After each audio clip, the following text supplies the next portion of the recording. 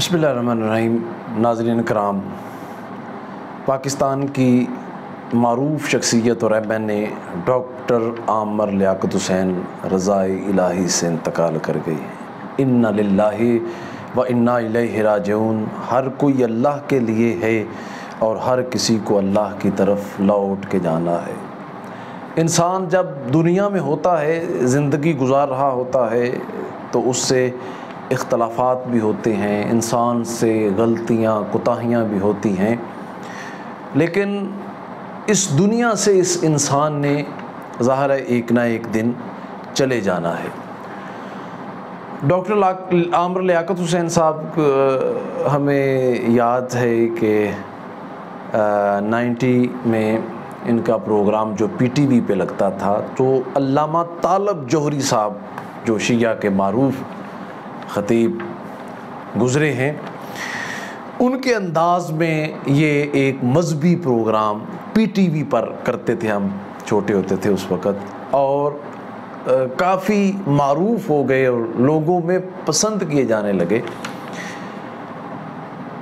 2001-2 में जब electronic media का आगाज़ हुआ, फिर जियो पर आलम ऑनलाइन और वहाँ पे मुख्तलिफ़ मकातब के कराम के साथ मुख्तलिफ़ मसाइल पर गुफ्तु की जाती और वो एक नया ट्रेंड मुतारफ़ करवाया जो कि फिर डॉक्टर आमर लियाकत को शहरत की बुलंदियों पर ले गया।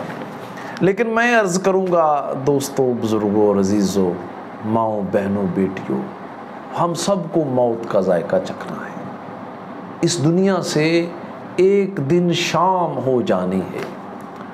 हमें जब कोई इस दुनिया से जाता है तो हमें गौर करना चाहिए कि वो तो चला गया, हम ज़िंदगी कैसे गुजार रहे हैं? दुनिया में रहते हुए दौलत, शोहरत, इज़्ज़त मालो दौलत इंसान को दुनिया की रंगीनियों में ऐसा खो देती है कि इंसान इस शोहरत की फरावानी, इस दौलत की फरावानी, इस इज़्ज़त की फरावानी, इसमें अपने आप को ये समझता है, ये मेरी अता है, ये मेरी वजह से है।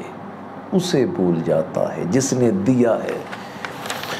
तो अर्ज़ ये कर रहा हूँ कि ज़ाहिर अल्लाह ताला डॉक्टर आमर लियाकत हुसैन के लिए हम दुआ गो हैं कि अल्लाह ताला उसकी, उनकी मगफ़रत फरमाए ये आखिरी दिनों में अहल तशैयों के साथ उनके इख्तलाफात थे और उन्होंने कोई ऐसी बात की, हमने उसकी मजम्मत भी की।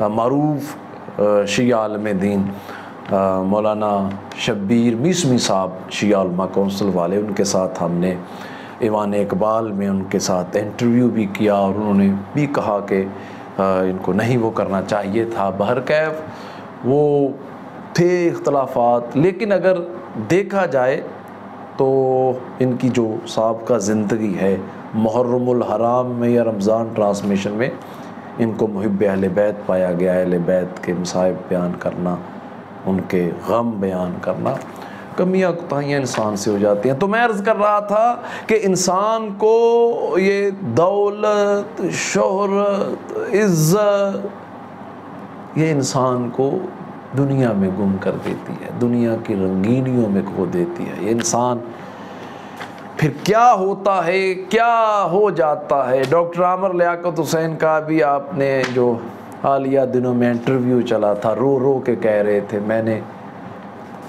वो आमर लियाकत हुसैन जो पाँच सौ मजहबी इस्लामी, पाँच सौ बासर मजहबी इस्लामी शख्सियात में जिनका शुमार एक दफ़ा उस वक़्त जब इब्तदाई दौर में इलेक्ट्रॉनिक मीडिया का दौर था, पाँच सौ बासर शख्सियात में इनका शुमार।